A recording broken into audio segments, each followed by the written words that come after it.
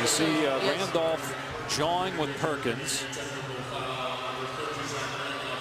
And Perkins said something apparently to Ken Mauer, and both players ejected. That's it. So.